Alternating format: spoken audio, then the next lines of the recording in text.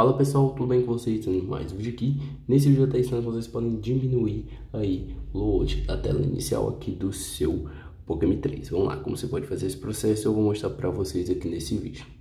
É, primeiramente pessoal, o que você vai procurar estar tá fazendo? Você vai segurar aqui na sua tela e vai acessar suas configurações.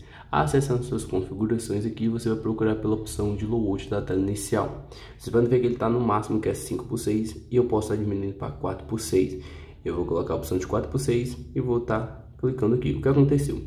Aqui ele pode ter uma altura de 6 aplicativos, então se você ver que tem 3 aplicativos, pode ser colocado mais 3 aplicativos e ele fica no limite. A única alteração que a gente pode fazer é a questão da largura, por exemplo, estava tá uma largura que possuía 5 aplicativos, agora como eu diminuí, agora só tem 4, 1, 2, 3, 4 aplicativos.